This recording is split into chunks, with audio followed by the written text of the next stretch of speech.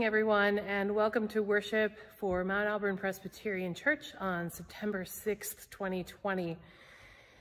We are happy that you have joined us today, and we hope that you will find this to be a time of grounding and centering yourself and returning to the anchor of faith and community.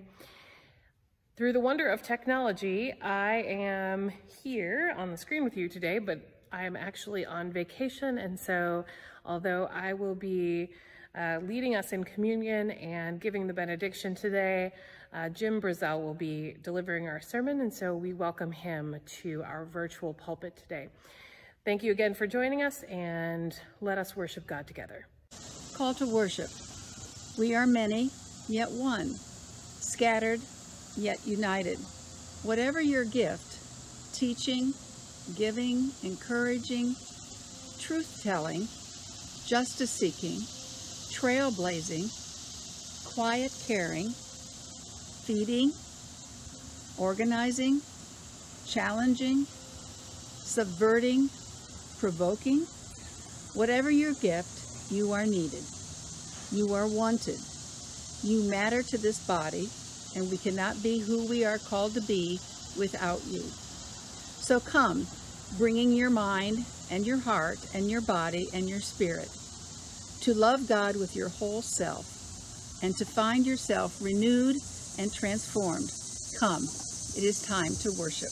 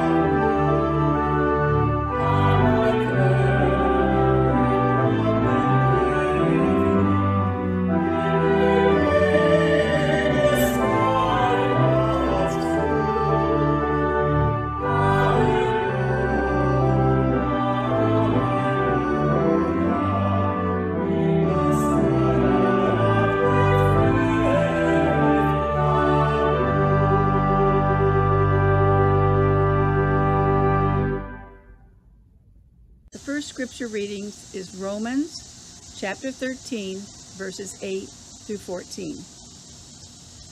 Owe no one anything except to love one another, for the one who loves another has fulfilled the law.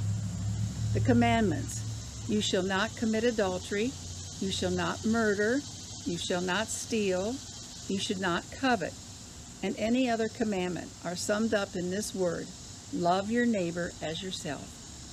Love does no wrong to a neighbor. Therefore, love is the fulfilling of the law. Besides this, you know what time it is, how it is now the moment for you to wake from sleep. For salvation is nearer to us now than when we became believers. The night is far gone, the day is near. Let us then lay aside the works of darkness and put on the armor of light. Let us live honorably as in the day, not reveling and drunkenness, not in debauchery and licentiousness, not in quarreling and jealousy. Instead, put on the Lord Jesus Christ and make no provision for the flesh to gratify its desire. Today's lesson is the story of the Holy Family. The Holy Family is very important and is the family that we talk about a lot in a lot of the lessons and especially near Easter and Christmas time. So first in the Holy Family, we have the Christ child, the little baby Jesus. And if you can see, his arms are, out, are outstretched to give the world a hug. And this is Jesus when he was just a baby.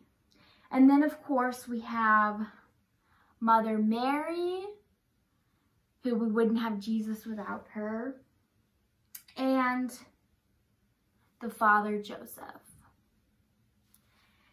We have the donkey that Mary rode when Mary and Joseph were going to Bethlehem to be counted by the Roman soldiers. Mary was really pregnant at this time with Jesus, so she had a really big belly. So it, it was really hard for her to walk such a long distance with such a pregnant belly. So she would ride the donkey, but actually even riding the donkey was really hard. So she would sometimes walk and go back and forth. So it was a really tough journey. Here is the cow that was in the manger and saw Jesus in his feeding trough and when Jesus was born. So this is what we represent as the cow who gave up even his home and his feeding trough for this really important moment. Here we have a shepherd, which really there were many shepherds in the field and a sheep, which really there were many more than just one, but we just have this to represent it. Because the shepherds were in the field herding their sheep when they saw the bright light and they heard the noises and they were really scared, which I would be really scared too if I was in a field and I saw all these bright things and I heard all these singing voices. But then they weren't afraid anymore when they heard the angels saying, do not be afraid, we bring peace and goodwill. And then the uh, shepherds were told to go to Bethlehem because such an important thing was going on, that the baby Jesus was being born. So then they went and they followed it and they weren't scared anymore. Here we have the three kings, the three wise men, they were thought of as magical because they knew so much about everything. That's why they were called wise because they had so much knowledge and they especially had so much knowledge about the stars. So when the three wise men saw the bright star in the sky that was leading them to Bethlehem, they were they knew that it was out of place. They knew all of the stars, so they were curious and they followed it. They're also called the three magi, which meant magic because the people would call them magical. And that's where we get our word magical. And they brought with them, when they went to see Jesus being born, they brought the gifts of gold, frankincense, and myrrh. So here we have back to the baby Jesus who ended up growing up to be a grown man who died on the cross, which is really sad, but also was really wonderful in an Easter way, and because he died for us. So, see, here we have him outstretched, giving a hug, and we know that even when he was on the cross, he still had his hands out like this and he was outstretched, giving the world a hug, giving us a hug. And we know that he was not then, he is now and always. Thank you.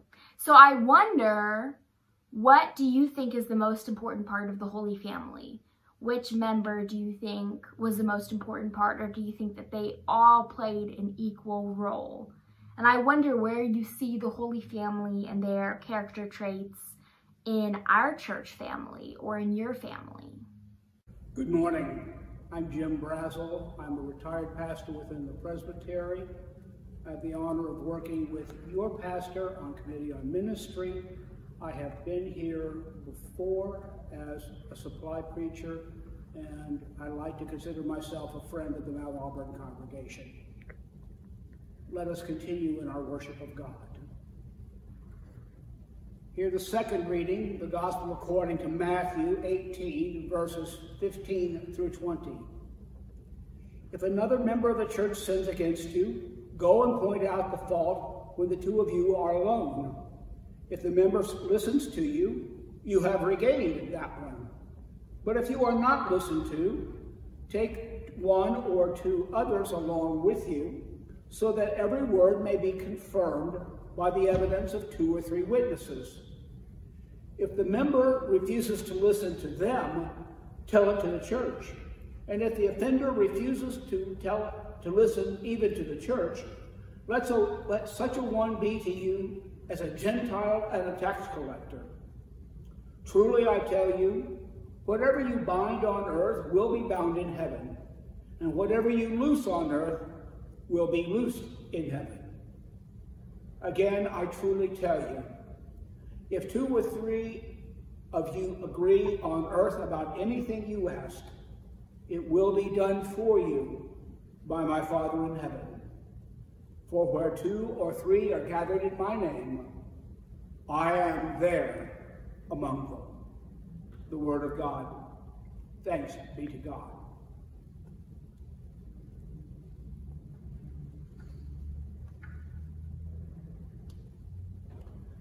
Matthew 18 addresses how to deal with broken relationships within the congregation.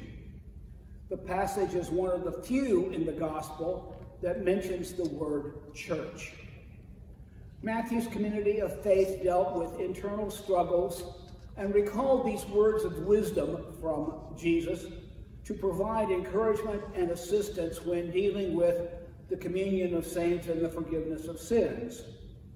I'm unsure if the fashioners of the Apostles' Creed insisted on a causal connection between those two phrases, but they certainly understood life within congregations.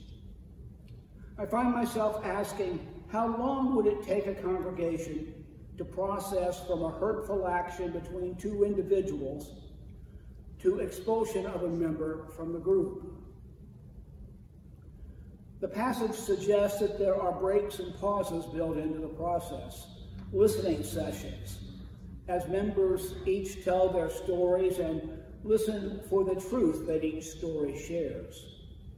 At each point, there are places, if the member listens, where repentance, restitution, reconciliation, and restoration would resolve the conflict. I ask myself, how long would this whole process take? I'm concerned here for the health of a majority. It seems to be too easy a thing for persons and positions to become polarized, and exclusion becomes a mechanical process that cares nothing for the offense or the offender, but that decency and order are maintained. This congregation and our presbytery and synod and general assembly have all endured the consequences of strong arm politics as usual. Now, there is something to be said for standards. In our own book of order, we hold these truths that God alone is Lord of the conscience and hath left it free from human doctrines and commandments which are in anything contrary to the word or beside it in matters of faith and worship, and that in perfect consistency with the above principle of common right Every Christian church is entitled to declare the terms of admission into its communion and upon the whole church in whose name they act, to censure or cast out the erroneous and scandalous, observing in all cases the rules contained in the Word of God. So, believe as you are called to believe, as you understand by the Spirit of Christ, but take counsel that no one is free from the consequences of their belief. That's about as good as Presbyterians believe and do. Or is it? Presbyterians prefer to interpret Scripture in terms of other Scripture. We anticipate the presence of the living Word in the revelation of the written Word. In this case, we refer to our first passage, Paul's commentary to the Presbyterian Rome. The commandments, you shall not commit adultery, you shall not murder, you shall not steal, you shall not covet, and any other commandment are summed up in this word. Love your neighbor as yourself. Love does no wrong to a neighbor. Therefore, love is the fulfilling of the law. It's worth noting that these commands all come from the second table, the one dealing with social relationships, not our relationship with God. To me, that suggests that the best way to get along with God is to get along with others and one's own self first. Owe no one anything except to love one another. How much blending and sliding and easing goes on in groups because persons seek to be exceptions to the law without the common oversight of the group. Owing nothing breaks the pattern of personal and group convenience that keeps the cycles of inequity spinning. If one is not part of the group in power, one cannot obtain equal privileges without spectacular achievement. As we said in the 1960s, a woman has to work twice as hard as a man for the same recognition. Fortunately, this is not difficult. You shall not commit adultery. Don't interfere with relationships in which you don't have a share. Respect others so that they will respect you. You shall not murder, you shall not steal, you shall not covet. Practice self-awareness and constancy of purpose, of integrity. Look for alternate forms of justice. Affirm all of life. Petition or earn what you lack, or seek greater joy in what you already possess. All too often, I find myself coming up short. Not a particular commandment so much as a, a general indifference to another's needs. It's all I can do to take care of me and mine. Look out for yourself. We've managed to move from a godly economy of abundance to a human economy of scarcity. We perceive that another's gain is our loss. The slices always seem thinner. The pie never grows larger. This is what the world tells us. But love your neighbor as yourself. Love does no wrong to a neighbor, therefore, love is the fulfilling of the law. All too often, I find that that love exceeds my grasp. And yet, when I pause and look around, I find it within the group. Wherever two or three are gathered in my name, I am there among them. Working through this sermon, I have come to understand two things. First, machine run discipline is as sin filled as license masquerading as Christian liberty. And second, when Christ is not the center of our living or our social groups, we endanger ourselves and the group if we do not hunger and thirst for righteous relationships we unbalance the democracy of life before Christ. We know there are standards, and we are called to be always reforming ourselves according to the Word of God as we understand those standards in a particular day and time. So we need to pause and wait for the Spirit to move. Otherwise, our own fear pushes us to take steps too far off the beaten path and we become lost in our own rush. Remember the definition of a fanatic is someone who redoubles their efforts when they've lost their way. Christ calls us together for Christ's own sake. Imperfect and sinful as we are, Christ also abides with us so that we may gather comfort, peace, strength, and wisdom as persons and people of faith. We are not left to our own devices. We are not stuck in ourselves. As we proceed through these troubled days, let us stand for the right as we understand right, and let us seek the wisdom of the church. Let us always be open to the reality and revelation of Jesus Christ, our common Lord. Amen.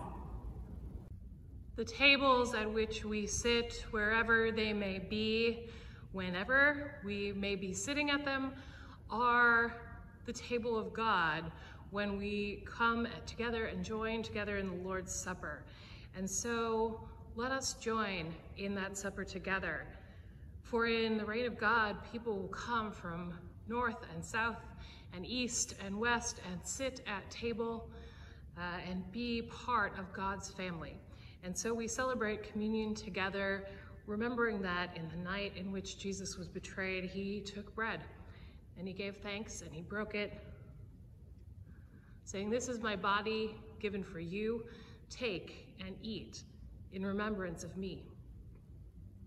And after they had eaten, he took the cup, saying, This is the new covenant poured out in my blood. Take and drink as often as you do this in remembrance of me. Virtually, we commune at our, each at our own tables, and you may feel free to commune at this time with me, or you can wait until the time in our virtual coffee hour during which we will commune together. So if you are communing with me now,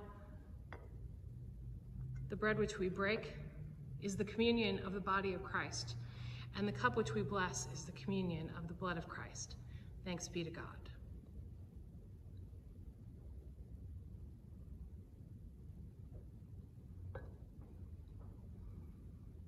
Let us share together in prayer. Let us pray. Holy One in Three, before the foundations of the world, you intended us for love. At the foundation of the world, you blessed those efforts, called them good, and made us in your own image to be stewards of your creation. At the completion of the world, you will make all things new, life fully perfected in your purpose and passion. Hear the prayers of this people and all persons as they present themselves, soul, body, spirit, wounds, resources, and hopes, into your welcoming sight and embrace. We pray for the church, for this congregation and other courts and congregations of saints. We acknowledge that even our best efforts contain conceit and claim more than they may deliver. Prosper and secure the work and witness of our lives. Keep us mindful that your presence abides and blesses our efforts in your service. Keep us mindful that you are always near when hardship befalls us. Keep us mindful that death and all the sin of the world could not, in the fullness of time, separate us from your love, made known, made real in Jesus Christ. We pray for our nation and all political institutions. Keep us from fearsome reactivity to threats imagined and real. Keep us surrounded by your peace that our own fear and anger against those who would believe otherwise from us would give full worth and value to their humanity. Let us see and hear truly, that our hearts may know wisely, and that our hands serve with care and craft. We pray for the world, its deep beauty and fragile structures, where fire, drought, flood destroy forests, farmland, and housing. Sustain us in emergency responses. Give perseverance and knowledge to guide conservation and rehabilitation. Keep us from isolation and complacency. God, we know your will for us is life and good. Continue with us in this COVID-19 pandemic. Let each of us find ways to help all of us against this pestilence. Remind us that in life and in death, we belong to you. Those in distress, oppressed by illness, joblessness, homelessness, hunger, loneliness, and the certainty that death would only improve their circumstances, we commend you, O saving one. May Holy Spirit rest upon them to nourish and sustain hope. May our words, our community, our offering be part of efforts that affirm that we are our, your beloved community. Gather together these prayers and bind them with mercy and love, that we may be called and claimed, given and gifted to share your love. By Jesus Christ we pray. Amen.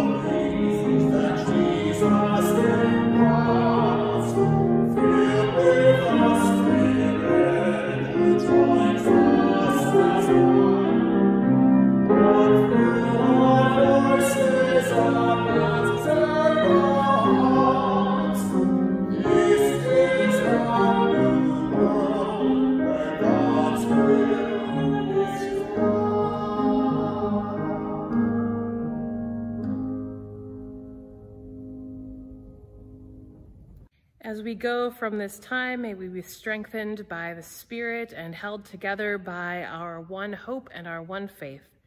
And may God bless you and keep you. May God's face shine on you and be gracious to you. May God's countenance be lifted up upon you and give you peace now and forever. Amen.